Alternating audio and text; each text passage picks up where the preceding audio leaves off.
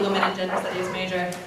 Feminazis? Lesbian. Bring your bra. Man haters. Separatists. Communists. Anarchists. Down with the man. Butch. Femme. White women? Socialists. Arts and crafts majors. Unemployable. Hippies. Fat and ugly. Sure ain't no Newt Gingrich. Softball players. Man eaters.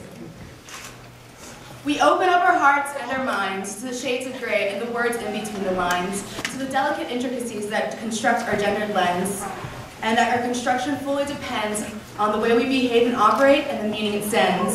This is not. This is just the beginning. This isn't the end. With no end in sight and always new beginnings, life is a continuum of all types, of all peoples and all beliefs. True, some less harmful than others.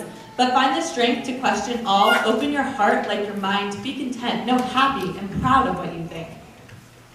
We are thinkers, taught to criticize, analyze, theorize, and organize, as our brains begin to pressurize because we understand that the world objectifies the differences between girls and guys, that gender is socialized, as we begin, begin to deconstruct the constructions of a world that values patriarchy and merchandise. So visualize a world of women and gender studies majors who are taught to recognize the lies and defy the disguise. In critical thinking we specialize, that is our life, our enterprise.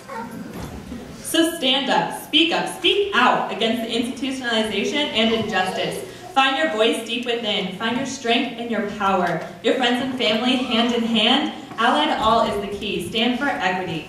Trust in yourself and your beliefs to do what you must, regardless of your fears. Be yourself, however cliche, but hey, it's graduation day. So Erika, then what really is a woman in gender studies major? Activists, Movers, shakers, lovers, partners, fathers, mothers, sisters, brothers, daughters, lawyers, and we still ain't no Newt Gingrich. social workers, Doctor, doctors, secretaries of state, housewives, teachers, inspires, liberators, motivators, diverse, colors, allies. and the list goes on, but it doesn't matter how we identify because It's you, and it's me, it's us.